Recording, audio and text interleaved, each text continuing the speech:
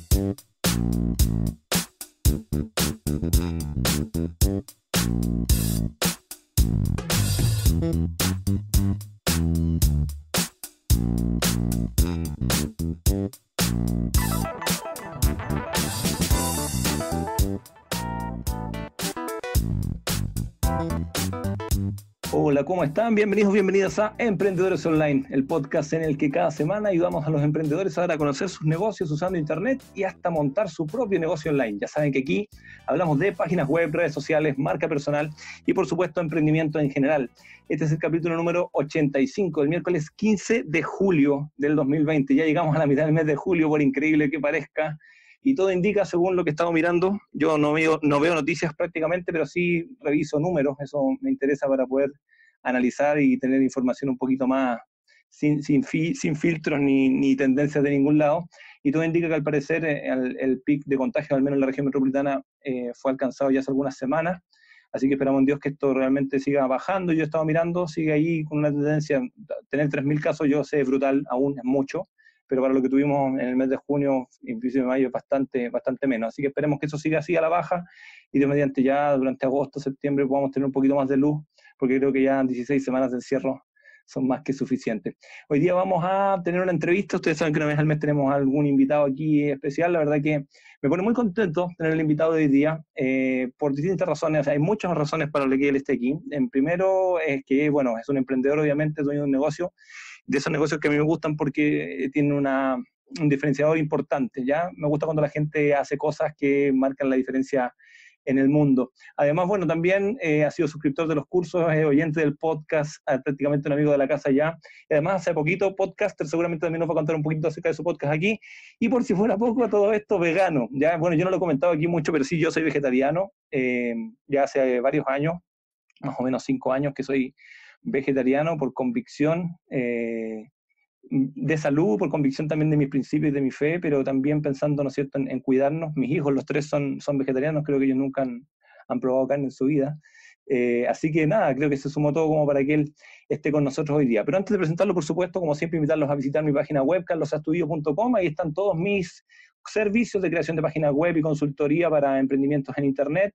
Eh, además, muy pronto van a estar habilitados los cursos. La verdad que he estado full, full con muchos proyectos de clientes, pero ya en el mes de agosto, Dios mediante, los cursos van a estar de vuelta ahí con un formato nuevo para ser adquiridos, ya no con un modelo de suscripción, sino que con un formato individual que seguramente los va a poner más al alcance de todos para que también los tengan, los puedan revisar y recontra revisar ahí una vez que los puedan descargar. Ahí van a poder aprender de finanzas, a crear blogs, páginas web y por supuesto un podcast tal como lo hizo nuestro invitado del día de hoy. Les vuelvo a preguntar, siempre me pueden dejar en carlosastudio.com barra contacto, ahí en el formulario, o si me escuchan en YouTube me pueden dejar también ahí en los comentarios del capítulo. Si hay algún curso, algún tema en particular que les gustaría que trabajáramos, ya sea que lo vea yo o quizás podemos traer algún invitado que haga los cursos, algún profesor, con gusto estamos siempre atentos a escuchar a la audiencia. Muy bien, pero ya no vamos a hacer esperar más, vamos a ir con el programa y con el contenido, que es lo que ustedes ven después de hacer todo ese spam del principio, en realidad conectar un poquitito con ustedes y contarles más de lo que hacemos aquí.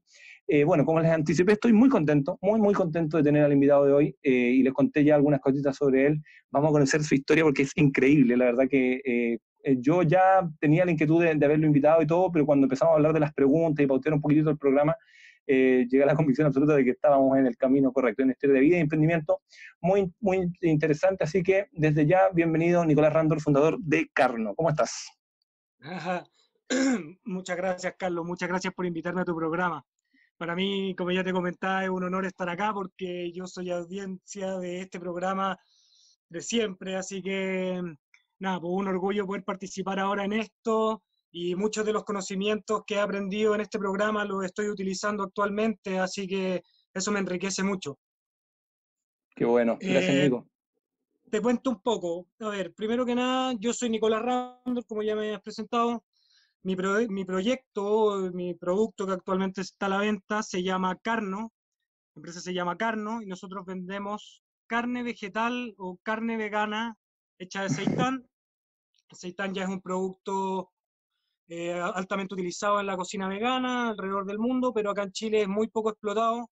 Entonces, eh, al darme cuenta de esta falencia o esta necesidad en el mercado, voy y ataco directamente a este punto. Ya voy a explicar un poquito más de todo esto. Primero que nada, te explico, yo estudié ingeniería comercial, eh, eh, salí del colegio y estudié eso durante tres años y me pasó que, me pasó que eh, si bien la carrera no estaba mal, no me llevaba al nivel de motivación, no me sentía así como vivo, vibrante, como cuando empecé a descubrir mi fascinación por la cocina, mm. que si bien se vio, se vio tardía, eh, esto empezó como a los 19 años, 20 años, mi interés por el cocinar y por cada vez desarrollar nuevas recetas. Y llegó un punto en donde dije, ok, aquí eh, lo mío no va por este lado, no va por el lado de la ingeniería comercial, va por el lado de la, gastronomía. Y eh, me cambié, me cambié de carrera. sí hubo una repercusión familiar, me dijeron todos mi hermano, mi familia, ¿Cómo se te ocurre? ¿Qué estás haciendo? Como cocinero la vida se te da cuesta arriba.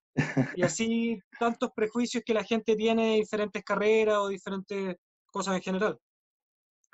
Y pasó que me cambié y me transformé en una lumbrera. Obviamente que ya con la exigencia de ingeniería comercial, pasar a estudiar gastronomía fue como aprovechar todo lo que ya conocía y me salió mucho más fácil me iba muy bien en, práctico y en, y en teórico. Así que estuve dándole, saqué la carrera lo más rápido posible y de ahí me puse a viajar.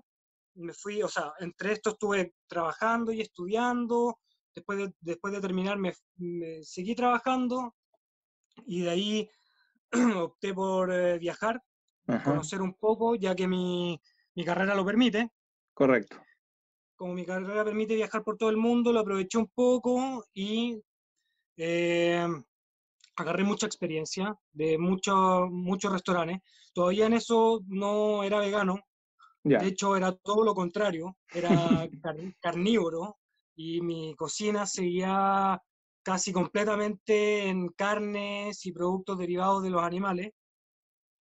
Y bueno, aprendí técnicas de eso que al final puedo utilizar en el mundo vegano también. Y bueno, eso es un poquito como la historia. La historia. Ah, interesante, y bueno, eh, eh, me ha resumido aquí un, poco de parte importante de tu vida. Eh, hay, hay, varias cositas que me parecen bien, bien notables. Primero, bien, bien harta valentía como para hacer ese cambio de, de carrera. me imagino que hay un precio, un precio social, un precio familiar que pagar por esa decisión pero esa es la valentía que se espera porque en realidad tenemos una pura vida y tenemos que aprovecharla, ¿no? Para poder hacer lo que, lo que amamos, que eso es re importante. Ahora, ¿cómo, este, haciendo un poquito de asume esto, cómo alguien de los números, porque eh, obviamente hoy día toda esta formación, esos tres años de ingeniería comercial, claramente te sirven para el emprendimiento y todo, eh, es como un bagaje que suma, suma harto, porque si no, eh, claro, yo siempre digo, mira, hay que seguir tu pasión y todo, pero, pero los números igual nos tiene que por lo menos conocerlos, saber dónde está parado, porque no podéis como dejar eso en manos de otra persona. Pero, ¿cómo es que alguien de los números hace este viaje y decir, ya, compadre, mira, llevo tres años metido en esto, parece que me quiero ir para este otro lado? ¿Cómo pasa eso? ¿Qué proceso? ¿Hubo algo en tu vida? ¿Algo? ¿Cómo fue que, lo viviste? Sí, mira, eh, yo justo en ese momento estaba en una relación y yo estaba viviendo con mi pareja y ahí fue cuando empecé a tener este bichito de la cocina, como te cuento, y empecé a cocinar mucho. Y por el contrario, por el lado de mis estudios, de lo que estaba haciendo, sentía que cada vez esto que estaba aprendiendo se desligaba un poco de mi proyecto de vida, que siempre ha mm. sido emprender. Claro. Eh, este emprendimiento ahora no es mi primer emprendimiento, de hecho es el tercero. Cada uno de los anteriores me ha dejado experiencia, y ni uno ya está vivo, así que han sido puras derrotas en el camino, pero derrotas llenas de experiencia. Y, y nada, me cambié, dije esto, lo que, lo que sigue esta carrera para adelante por ingeniería comercial no me lleva a lo que quiero, no me lleva, no quiero estar empleado de una gran compañía y saber números y el tangente y el, no sé, y el logaritmo de, ya, bueno. Entiendo eh, Entonces, entonces dije, no, vamos a aprovechar que ya tengo este conocimiento para hacer empresa y me voy a dedicar a lo que realmente me gusta, lo que realmente me mueve, y después me paso a hacer un proyecto, emprender en algún negocio que tenga que ver con lo que me gusta. Correcto. yo también tengo que mencionar que igual en mi casa, mi, mi papá y mis hermanos, la mayoría son emprendedores, casi todos tienen sus propias empresas. Mi papá ya está jubilado, pero tuvo su empresa de arquitectura y construcción durante toda su vida. Entonces yo ya tengo con un background de, de una familia de emprendedores en la que la motivación y el esfuerzo solamente salen de uno y hay que proyectarlo y de esa manera se puede construir, se puede construir una, una vida, una familia, un negocio.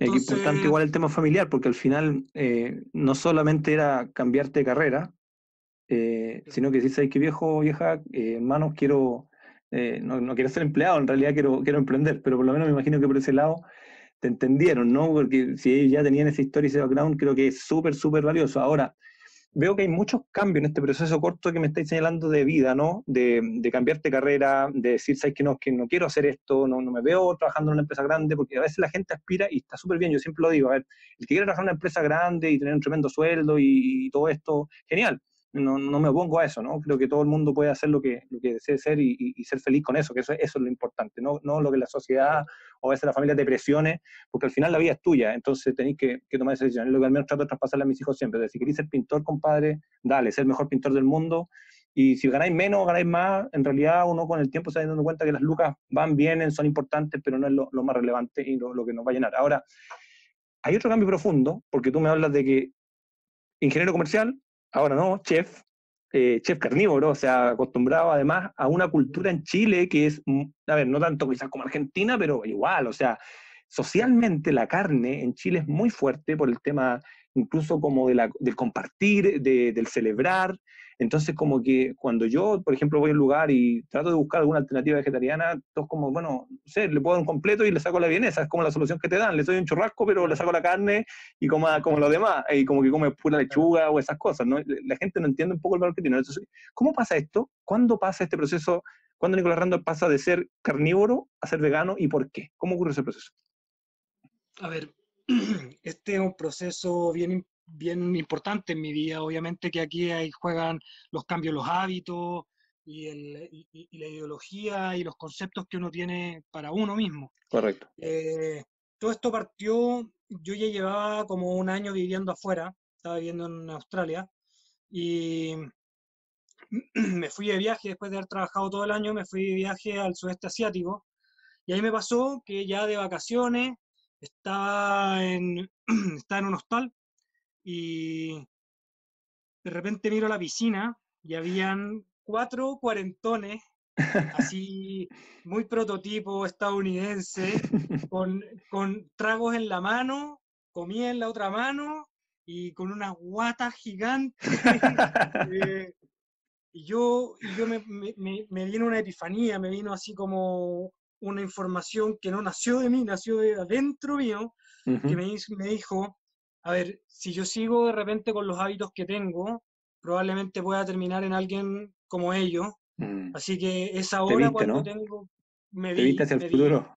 Vi, me vi al futuro y, y dije, yo aquí tengo el control, yo voy a tomar las riendas de mi alimentación, yo voy a tomar las riendas de mis hábitos. Y ahí fue donde me puse a investigar y ahí uno empieza, cuando uno empieza a investigar, generalmente uno no sabe mucho del vegetarianismo ni del veganismo, eh, pero me, puse a investigar y vi documentales, información que cambió radicalmente mi manera de ver la alimentación y mi manera de ver al final todo el mercado de la alimentación por detrás también. Mm. Y, me di cuenta de muchos factores. A ver, el, el veganismo eh, dice no comer animales y no consumir animales pero no solamente por un eh, bien o por una no, no, sacrificio a los animales, sino que también viene por todo un tema de contaminación mundial, de utilización de recursos, de, por el otro lado, de salud, de salud para la gente, de los óptimos rendimientos que tu cuerpo puede llegar. Entonces, cuando empecé a sumar toda esta información y me di cuenta de que este tipo de alimentación era la alimentación más íntegra que uno podía tener, yo dije, a ver, pero ¿qué onda? Esto es el futuro.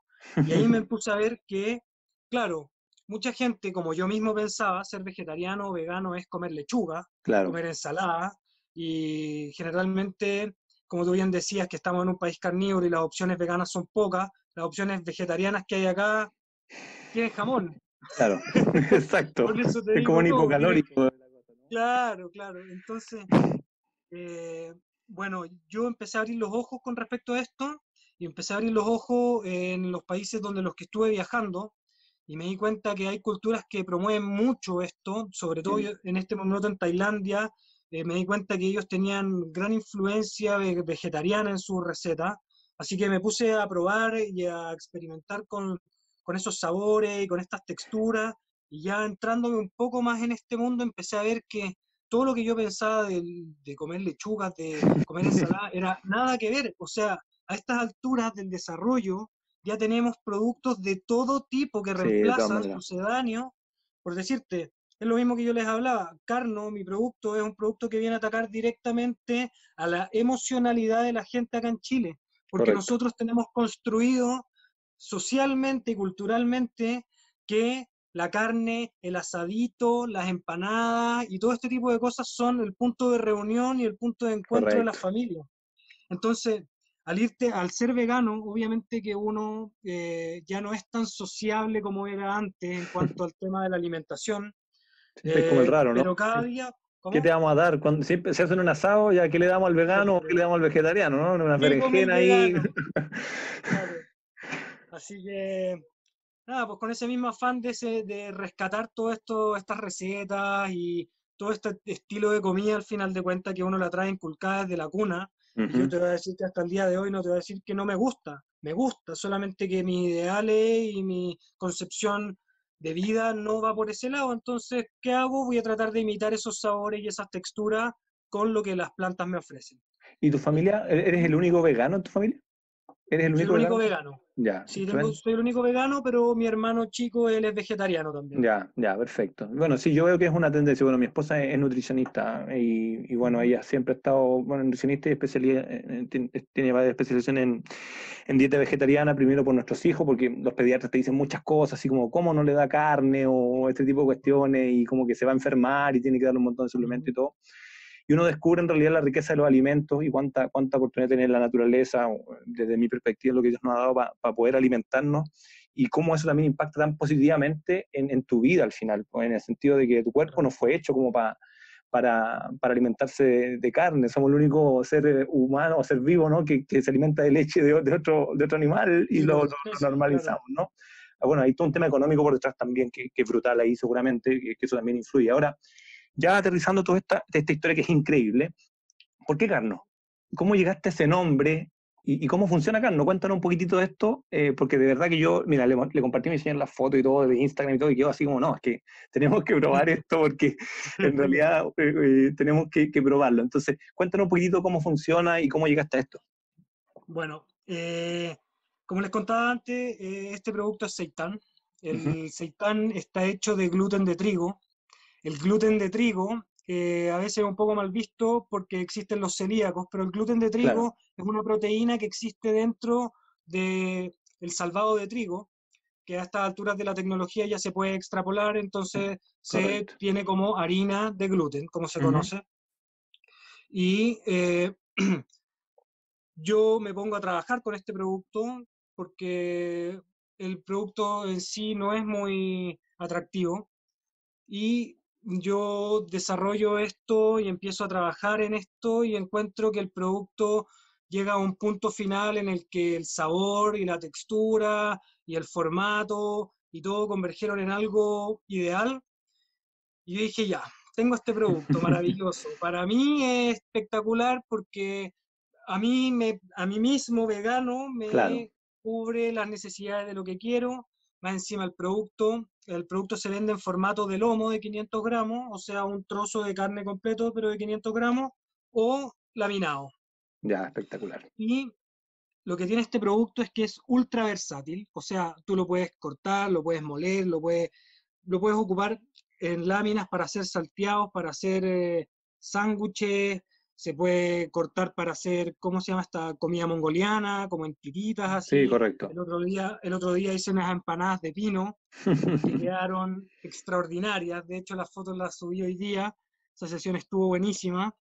Y bueno, yo con este producto en la mano ya dije, a ver, ¿cómo, cómo llamo a esto? ¿Cómo, cómo hago que, que en el mismo nombre se transmita eh, qué es lo que es o como que dé la intención al tiro? Y ahí fue, bueno, una reflexión larga dentro de cómo podía llegar y abordar este nombre hasta que llegó a mí como una luz en mi cabeza, Carno. Carno, dije, Carno. Claro, carne, no carne, carno, mantengo el nombre, le cambio una letra. Espectacular. Y, con eso, no solamente, a ver, obviamente que la carne es el tema de el punto de encuentro, como el roce entre los veganos o los vegetarianos y la gente normal, por decirlo así. Entonces, ¿por qué carne? ¿Por qué voy a hacer alusión a la carne si estoy vendiendo un producto vegano? Esto es una pregunta que me han hecho harto.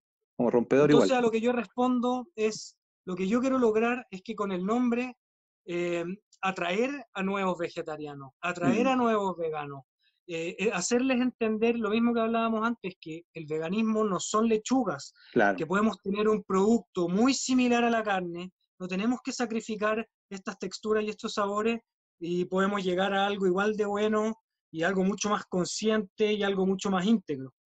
O sea, es que es, tal cual, o sea, te entiendo súper bien, bueno, quizás por, por, por, la, por la visión de vida en este aspecto que es bastante similar, ¿no?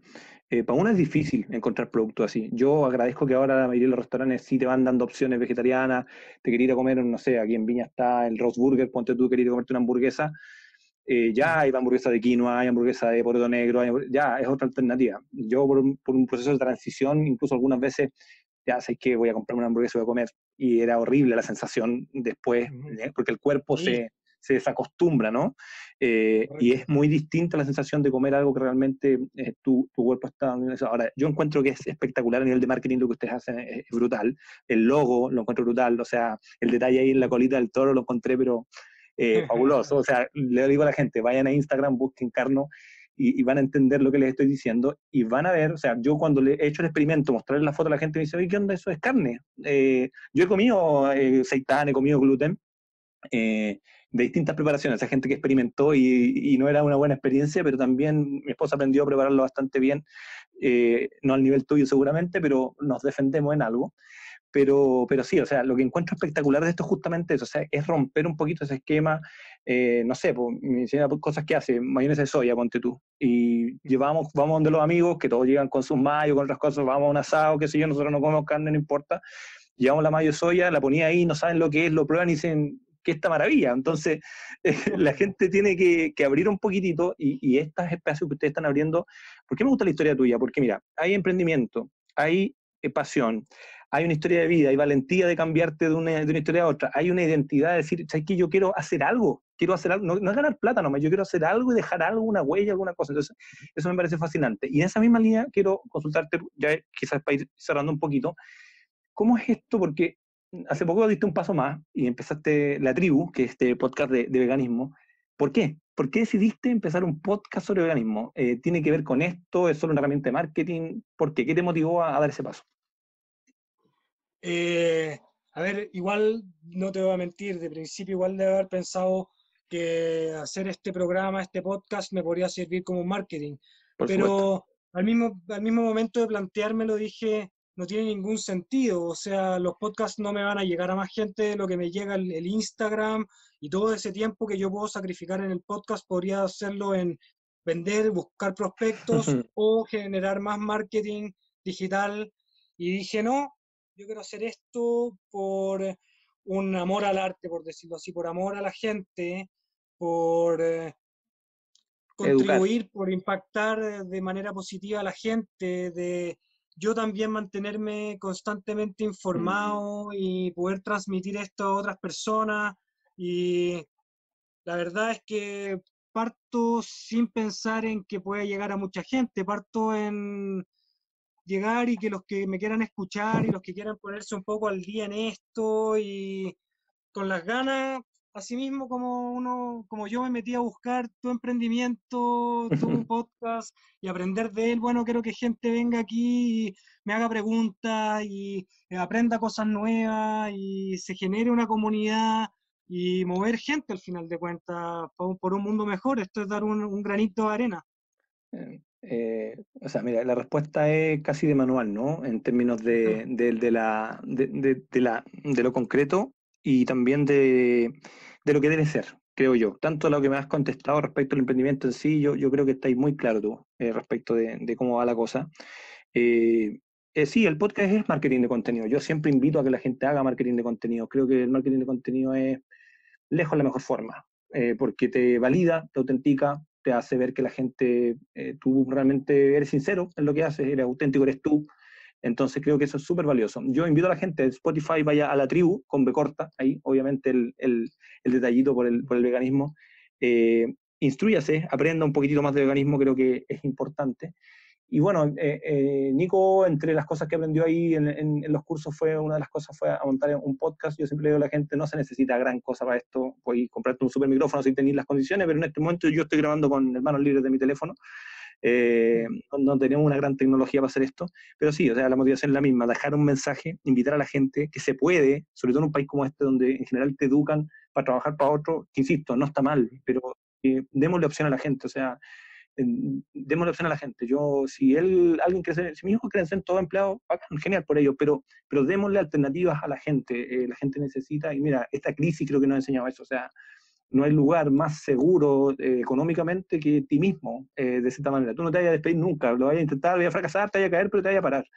Pero hoy día se va a venir una crisis brutal con los despidos, con, con la gente que está quedando sin trabajo, porque sobre todo cuando hay empresas muy gigantes, prácticamente te convertido en un número, y creo que esta como esencia de tribu, de, de grupo chiquitito, es valioso. Y yo te digo, o sea, nadie parte pensando ser escuchado por millones de personas. Yo no soy escuchado por millones de personas, soy escuchado por un grupito muy pequeño de gente eh, en este año y medio que llevo con el podcast.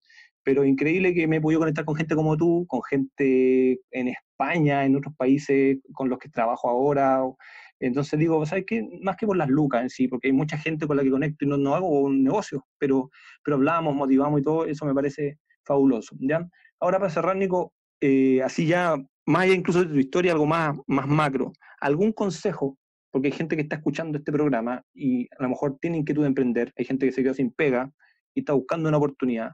¿Algún consejo que tú pudieras dar como de emprendedor, ya que tenéis para emprendimiento en el cuerpo, para esas personas? por supuesto, es lo que hablábamos al principio. O sea, primero que nada hay que empezar. Eso es lo mm. primero que hay que hacer. Después en el camino uno va viendo, va mejorando, uno se equivoca, uno se para, como tú decías, y hay que darle. Y no, hay, no es necesario ser un chef, no es necesario ser eh, una gran eminencia del tema para empezar. Uno, si tiene la necesidad, uno tiene las ganas, uno tiene la motivación, sin saber uno puede aprender. Todo está en Internet. Todo lo que yo he hecho ahora en esta empresa, desde de, preparar el producto hasta configurar la página web, está toda la información online. El que quiere va y la busca en internet y encuentra todo. Aunque cueste un poco al principio, ya, pero también eso es trabajar la resiliencia y la fortaleza, así que está todo ahí, chicos. Para todos los que escuchan, está todo ahí y es solamente de adentro, la motivación está adentro y empezar. Eh, genial. Yo, eh, bueno, me quedo mucho con estas palabras porque el primer capítulo de este podcast se llamaba Sin tiempo para emprender y es lo que yo le digo a la gente. Empieza, ahora, ahora. Estáis sin pega, ahora, ahora, ahora. Crea un blog, un podcast, lo que queráis, pero hazlo. Un canal de YouTube, me da lo mismo. Una cuenta en Instagram para compartir fotos con frases motivacionales, si es que es lo que sabes hacer. Me parece genial. Eh, Nico, ¿dónde te podemos encontrar? ¿Dónde más podemos encontrar, Carlos? Cuéntanos página web, redes sociales, todas estas cosas, porque creo que va a haber gente que a lo mejor va a querer ir a conocer un poquito más de tu historia. Sí, por supuesto. A ver, primero nos pueden encontrar nuestra plataforma más bonita, por decirlo así, es Instagram. Ahí nos pueden encontrar como arroba comecarno. Y ahí tenemos las fotitos al día, ahí respondo todo, mucha gente me habla por ahí. Eh, pero las ventas las hacemos directamente por carno.cl. Eh, de momento solamente estamos despachando en Santiago, pero yo espero prontamente abrir con eh, mercaditos veganos en regiones, así que esperemos que eso pase dentro de los próximos meses ya para poder llegar a más gente, porque hay mucha gente que está muy feliz con el producto y les parece algo, un aporte, así que ahí me pueden encontrar. Genial. Estamos en eh, Facebook también como Come Carno, pero yo los invito a ver el Instagram porque las fotitos ahí están de lujo. Sí, de todas maneras, Instagram para una empresa como esta sobre todo es, fundamental, eh, todo esto por la vista, ¿no? Y ya cuando las cosas, bueno, yo estoy en región, así que cuando esto se calme un poco y nos demos alguna vueltita por Santiago, seguramente pediremos nuestro carno para probar y compartiremos ahí la, Mm. la fotito. Eh, también les aprovecho de mencionar a la gente de la audiencia, si es que hay alguna persona que a lo mejor estuviera interesada en hacer negocios con, con Nicolás, alguien de regiones que quiera traer eh, alguna, ser distribuidor o alguna cosa, pónganse en contacto, alguien que tenga algún mercadito vegano o algo así. Creo que, eh, yo les digo, ¿ah? yo miren, no he probado el producto porque, no porque lo hemos seguido ahora hace poco por el tema de la pandemia, más digitalmente, ¿no? pero yo les digo, o sea, como vegetariano se ve brutal y, creo que los comentarios que están en redes sociales son espectaculares, así que vayan a carno.cl, se los recomiendo, síganlo en Instagram. Por último, solo por aprender de veganismo o por decir eh, y convencerse de que en realidad eso no es carne, aunque no lo crean, no es carne, pero ustedes van a ver ahí un barro luco de repente, se los digo a los que son más carnívoros, un churrasco alguna otra cosa más elaborada, o una, algo a la parrilla que les va a parecer que no, eh, que es carne, pero no lo es, no lo es, aunque el sabor seguramente eh, sí lo es. Bueno, Nico, mira, te agradezco un montón. Quiero decirte que esta entrevista para mí es muy, muy significativa. Yo partí esto justamente tratando de alcanzar a personas, como tú, en, el sentido de, que puedan compartir su historia y contarla.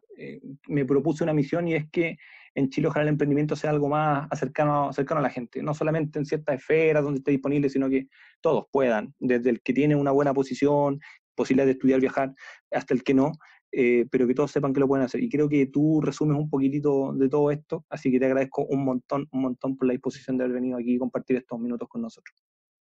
Muchas gracias, Carlos. Ha sido un agrado estar acá y para todos, vamos que se puede, para todos los que es cosa, yo como comentario al margen, es cosa de ver a los extranjeros que están acá en Santiago, que están viviendo acá en Chile, se ponen los pantalones, salen a trabajar, emprenden, nosotros también podemos. en Chile también se puede, así que es solamente una cosa de motivación. De todas maneras. Muchas, muchas gracias por invitarme, ha sido un agrado poder compartir mi experiencia, ojalá que sirva para inspirar a otros también, y si nos pueden ir a dar un, una manito hacia arriba o cualquier un comentario a nuestro Instagram, muchas gracias. Vamos a hacer eso, ¿ah? vamos a dejar aquí, yo voy a dejar eh, en las notas del programa, tanto la web de, Carno como la cuenta de Instagram. Bueno, yo ya lo sigo, ¿ah? así que eh, tienen que ahí seguir en Instagram, arroba Carno, vayan ahora a los que escuchan el programa y lo voy a comentar también con mis, con mis contactos para que, eh, bueno, yo en el mundo en que me desenvuelvo, ¿no? en el mundo de la iglesia y todo, hay harto vegetariano, así que créeme que ahí vamos a difundir harto tu mensaje para que Carno llegue un poquitito más más lejos, sobre todo aquí en, la quinta región. Gracias como siempre a todos los que nos escuchan por visitar mi página web carlosastudio.com. Gracias por seguirme en las redes sociales. También una manito para arriba se agradece ahí por mi parte, alguna reseña en iTunes o valoraciones de cinco estrellas. Los me gusta que dejan en iVoox, los amigos de España en especial que escuchan ahí, por suscribirse a Spotify, al corazoncito verde, ahí miren, de la tribu y también al de Emprendedores Online o en YouTube también se pueden suscribir, activar la campanita, ya saben que ahí también hay otras cosas, no solamente el podcast, siempre disponible. Espero que todos tengan una gran, gran semana, Dios mediante, vamos a volver el próximo miércoles con un nuevo programa aquí en este podcast que llamamos Emprendedores Online, donde ayudamos a los emprendedores a hacer negocios en Internet. Nos escuchamos.